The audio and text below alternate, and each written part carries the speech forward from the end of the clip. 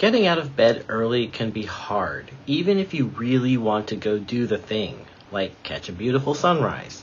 Even with the best intentions, we don't really do hard things unless we have to. So it helps to set a very specific goal that will pressure your brain into thinking that you have to do it. This walk to Marshall's Beach is one of the longer and more challenging walks on the San Francisco coast because it involves a ton of stairs. But the most amazing time to see this beach is at the lowest of low tides. Today's low tide, minus 1.5 feet, only happens a few times a year, and it happened today just before 6 a.m. I didn't want to have to get out the door at 5:15 a.m., but if I wanted to get close to the bridge and see the tide pools, then I had to get my ass out at 5:15. Otherwise, I would miss the super low tide and it would just be a normal tide.